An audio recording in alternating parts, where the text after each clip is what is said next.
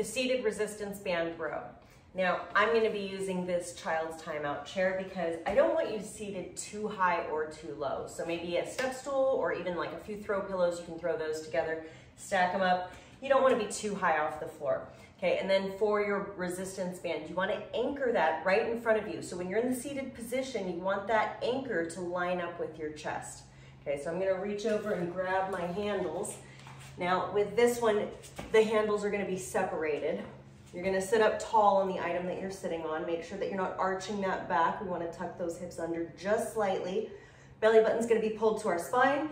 Sit up tall with your shoulders back. Now for that bat wing row, what you're gonna do is you're gonna pull both elbows back, creating an arrow from elbow to head to other elbow. Okay, so a little bit of space under those elbows is what I mean. Uh, enough room for maybe like a grapefruit or a small fruit underneath your elbow, right underneath your armpit, okay? chest up. We're gonna row just one side, releasing that arm and then pulling back. The other arm is holding that tension on that back shoulder blade.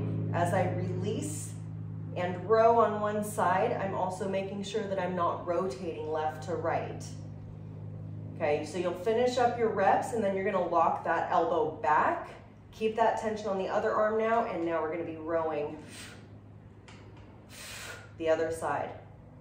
And remember, whenever you're gonna be doing any single-sided exercises with your upper body, it's best to start with your weaker side or your non-dominant arm.